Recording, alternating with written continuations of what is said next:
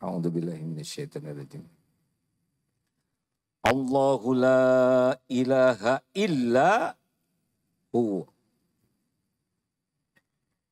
Allah memperkenalkan dirinya, Allah yang tiada ilah, Tuhan yang berhak disembah selain dia. Kita diciptakan oleh Allah, wa ma khalaqtul jinna wal insa illa liya'budun. Tiadalah sekali-kali kuciptakan jin dan manusia kecuali untuk mengabdi kepada Allah. Menghamba ibadah kepada Allah. Cuma itu. Logika sederhana manusia menciptakan sesuatu, membuat sesuatu untuk diri kita, mengabdi. Nih HP untuk ngabdi, taplak, botol, kacamata, baju, karpet, sound system, jam, semua ini adalah untuk melayani kita. Benar? Ini kursi melayani kita. Manusia membuat sesuatu untuk melayani. Allah subhanahu wa ta'ala pencipta langit dan bumi. Menciptakan langit, bumi berikut semua yang ada. Untuk menghamba kepadanya. Yusabbihu lahu ma fis samawati wal ad. Bertasbih semua yang ada di langit dan di bumi ini. Kecuali dua. Siapa? Jin dan manusia diberikan kesempatan memilih.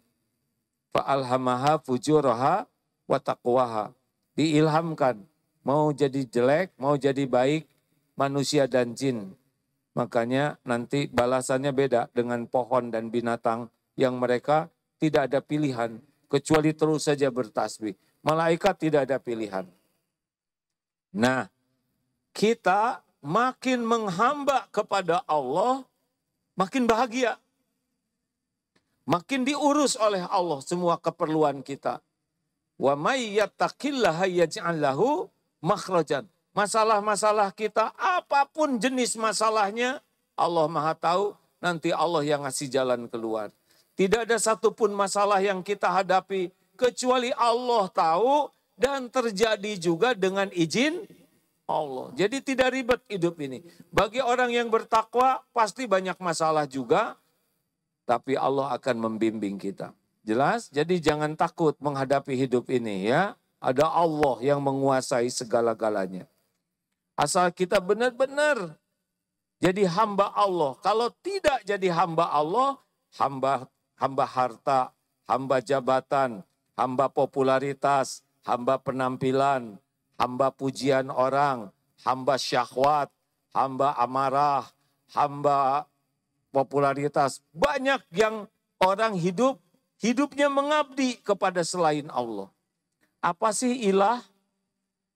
Secara sederhana begini, yang dituhankan itu adalah yang mendominasi pikiran, hati, menjadi tujuan, kita hidupnya mengabdi kepada sesuatu, selalu ada di hati, ingin selalu dekat, takut jauh darinya, mau berkorban apa pun untuknya. Nah, nyaknya ini siapa? Kalau orang yang tauhidnya benar, nyaknya itu adalah Allah. Tapi lihat di Indonesia khususnya, ada yang menuhankan harta, benar? Menuhankan jabatan, kedudukan, popularitas, ada yang menuhankan awet muda, ya ada ada tuh seorang yang saking ingin awet mati-matian. Ada yang menuhankan syahwat, nafsu, banyak yang hidupnya diperbudak oleh selain Allah. Bagi orang yang membaca ayat kursi, oh, tidak.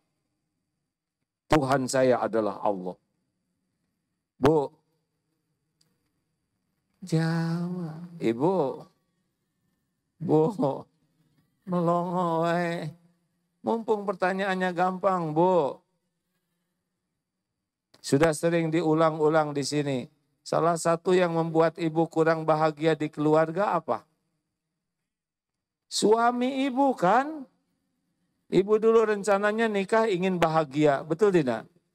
Udah jadi nikah ternyata salah satu yang menyebabkan kurang bahagia siapa?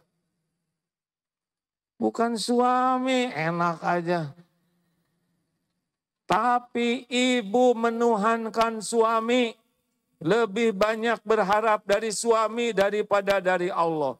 Lebih sibuk takut jauh dari suami daripada takut jauh dari Allah.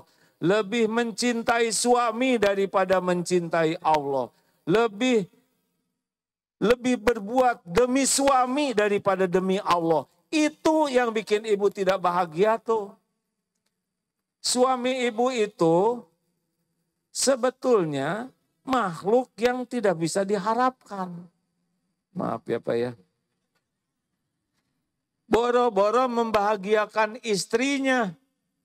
Membahagiakan diri sendiri aja nggak bisa ya Pak. Bapak udah lama kelihatannya di dunia. Jadi Bu, Ibu menderita tuh karena tiga hal. Harap, takut, cinta kepada suami berlebihan. Makin bisa ditekan, makin bahagia. Gak usah banyak ngarap-ngarap dari suami. Suami ibu boro-boro ngelindungin ibu. Ibu digigit nyamuk juga. Apa sih itu nyamuk? Begitu aja. Ibu digigit anjing, kenapa nggak dijaga matanya? Susah. Makanya orang kurang bahagia bukan karena kekurangan dunia, tapi kekurangan keyakinan tauhidnya. Ayat kursi setiap dibaca, Tuhan saya Allah. Oh, saya dihina. Gak ada masalah dihina. Apa masalahnya dihina? Kan? Apa masalahnya dihina? Gak ada masalah. Dihina, dicaci maki, difitnah. Itu gak ada masalah sama sekali. Nabi Muhammad aja yang mulia dihina. Masa kita yang hina betulan, tidak ada yang menghina? Aneh. Mau tahu rahasianya supaya nggak sakit hati dihina? Kalau mau, mau. Kalau tidak, tidak harus jelas hadirin. Jangan bikin esmosi ya. Mau. Siapa yang menciptakan kita? Yang menghidupkan kita siapa? Yang ngasih rejeki siapa? Yang nutupin aib kita siapa? Yang bisa ngasih pahala siapa? Yang bisa mengampuni semua dosa kita siapa? Yang menurunkan sakinah siapa? Yang bisa ngasih husnul khotimah siapa? Yang punya sorga siapa? Kalau segala-galanya dari Allah, ngapain kita capek-capek mikirin orang yang menghina kita? Siapa dia? Sampai jeding, jebleh, jeding itu yang ini yang tebal, jebleh itu yang bawah. Enggak ngepek men. Apa yang Allah tetapkan untuk saya bakal ketemu gak bisa dihalangi oleh orang yang sebel. Orang yang menghina itu adalah ladang pahala bagi kita. Ladang pahala untuk bisa tafakur. Ladang pahala, ladang bersyukur bukan kita yang menghina. Ladang penggugur dosa, ladang untuk latihan sabar, ladang untuk mendoakan kebaikan. Gak ada ruginya. Yang rugi itu justru yang menuhankan manusia. Tenang saja hadirin.